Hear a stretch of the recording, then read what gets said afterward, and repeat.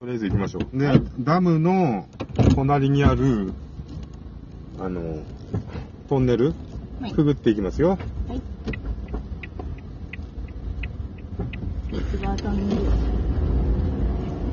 一歩通行じゃないよな、さっきうん。車走ってたもんね。はい。ちょっと暑いエアコン入れていいちょっとだけね。トンネル内点灯せよ。3.7キロ、3.7ね、上ね。急カーブなんだね。うん。これはこれは。いや、でもまあ、広いよ。うちの計2台分はあるよ。うん。全然大丈夫。ぐらいだったら。ただ、大型車だったらちょっとまずいかなって。リムジンはきついかな。は